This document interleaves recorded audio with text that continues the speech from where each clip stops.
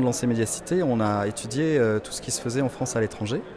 on a notamment réfléchi au parrainage d'enquête. C'est-à-dire que les gens, en fait, investiraient, pré-investiraient sur une enquête qui les intéresse.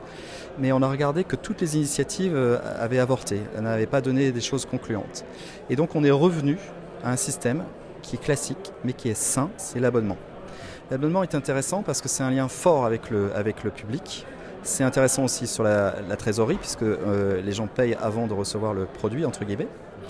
Euh, et du coup, euh, on s'est dit, on va opter pour l'abonnement. Alors, tarif faible, 6,90€ ou 59 euros par an. Voilà, abonnement. Et le curseur sur lequel on a joué, c'est la rareté puisque le public n'est pas prêt à payer énormément, que l'investigation, c'était votre question, coûte cher, le curseur sur lequel on joue, c'est la rareté.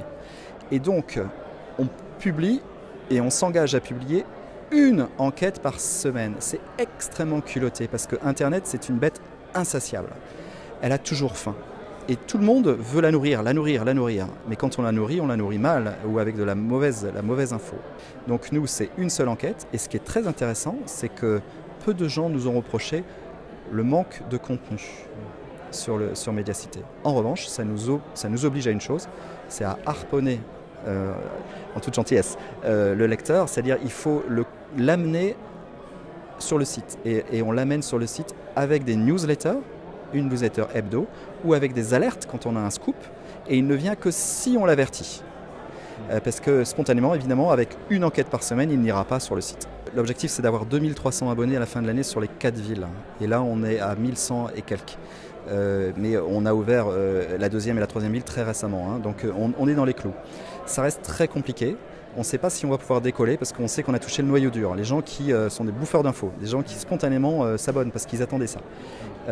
Au-delà, il, faudra aller les chercher et ça c'est plus compliqué. Donc l'enjeu il est énorme. Euh, l'objectif, c'est toujours d'avoir à peu près 2500 à 3000 abonnés par ville et on s'est donné 3 ans pour y arriver. Benjamin Perel, je suis cofondateur de, de et je m'occupe plus particulièrement de la déclinaison nantaise de, de. On a tous été pigistes, on l'était tous, même pendant longtemps à l'Express, et on sait ce que c'est que, que la vie d'un pigiste. Et donc on s'est dit, voilà, si on veut faire de l'enquête, si on veut que nos enquêtes soient bonnes, il faut laisser du temps, le temps ça se paye, et donc il faut bien payer les pigistes.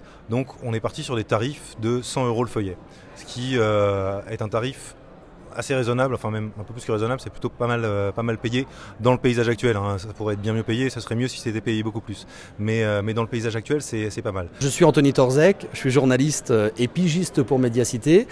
J'ai été pendant longtemps rédacteur en chef d'une radio sur Nantes et après un licenciement économique, donc j'ai commencé à travailler pour Médiacité. Aujourd'hui, une enquête comme The Bridge par exemple, ça fait trois mois que je suis dessus, alors pas pas tous les jours, on est, bien d'accord. Hein. Si, euh, si j'avais à, regrouper sur euh, des journées complètes, euh, je dirais que ça m'a pris un petit mois d'enquête.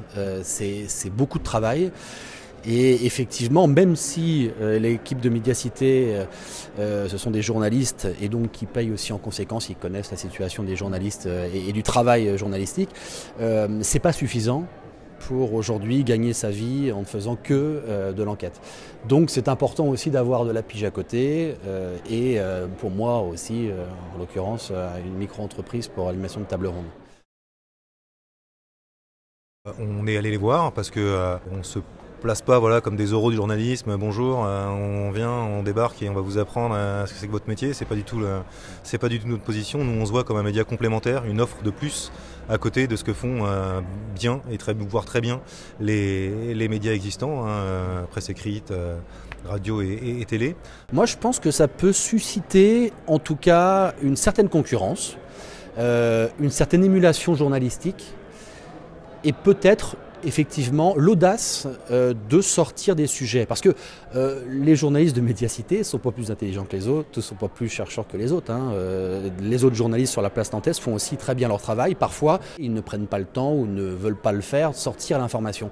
Mais ils peuvent avoir aussi l'information. Et peut-être que cet aiguillon que va être médiacité va permettre à, certains eh bien, d'oser sortir des sujets, de dire des choses qui peut-être auparavant, par autocensure, ne le faisait pas. On a quelques sources à la, à la Voie du Nord et on a su que très vite après notre arrivée, une fois qu'on a lancé deux trois sujets qui on va dire traditionnellement auraient été de, leur ressort, puisque c'est le journal installé et que eux ne les avaient pas, ils ont dit euh, on va recréer une, cellule d'investigation euh, au sein de, la Voie du Nord. Alors à ma connaissance, ils ne l'ont pas encore fait, mais en tout cas, il en a au moins été question et on sait voilà, que ça a titillé certains journalistes, euh, que, ça, ça donne des idées, que ça donne envie. Ouais, ouais, non, c'est, mais c'est aussi une des missions entre guillemets qu'on s'est, qu'on s'est assigné. Hein, c'est de, finalement, c'est de, donner un petit coup de pied dans la, dans fourmilière et de redonner, de redonner envie, de montrer que c'est possible.